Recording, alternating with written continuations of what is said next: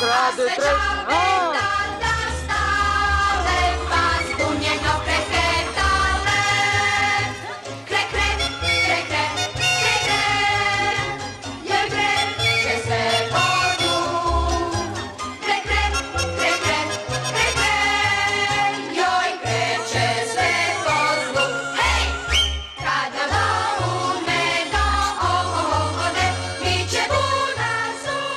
Je li medo? Je li bilo mračno dolje u bunaru? Strašno. Ko u rogu. Ma nemoj.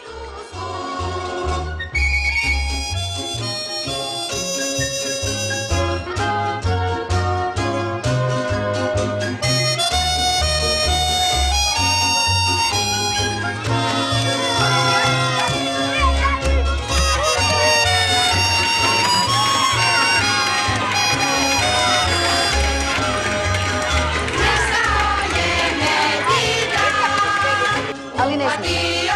Evo, predajemo vam zadružni mlik.